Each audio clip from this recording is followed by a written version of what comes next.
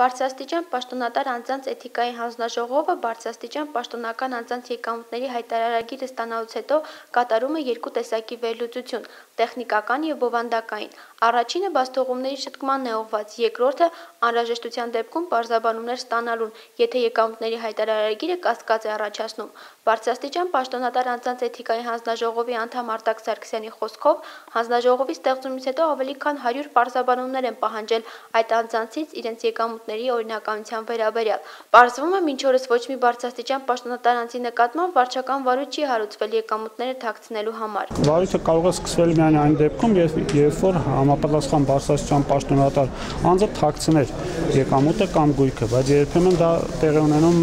մեխանիկական սխալի հետևանքով, երբեմն դա տեղի ունենում բովանդակային սխալի հետևանքով, երբ որ հայտարարագրի այլ բաժնում են լրացնում, մեկ այլ բաժնում լրացվելիք ենթակա տվյալները։ Այսօր հանձնաժողովի անդամներ Արմեն Խուդավերդյանն ու Արտակ Սարգսյանը Հայաստանի երիտասարդ իրավաբանների ասոցիացիայի կողմից գործարկվող Հայաստան ընդդեմ կոռուպցիայի ծրագրի շրջանակներում կազմակերպած միջոցառման ժամանակ ներկայացրին բարձրաստիճան պաշտոնատար անձանց էթիկայի հանձնաժողովի ստեղծման նպատակներն ու գործառույթները։ Առաջի նպատակը դա կոռուպցիայի կանխարգելումն էր։ Երկրորդ նպատակը դա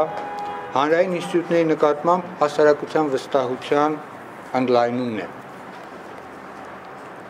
Բնականաբար այս հանձնաժողովը նպատակ չունի փոխարինելու դատախազությանը կամ ոստիկանությանը, այս հանձնաժողովի նպատակն է հասարակության նկատմամբ բարձրաստիճան պաշտոնյաների դիրքի եւ վստահությանը ամրապնդել։ Հաջորդը դա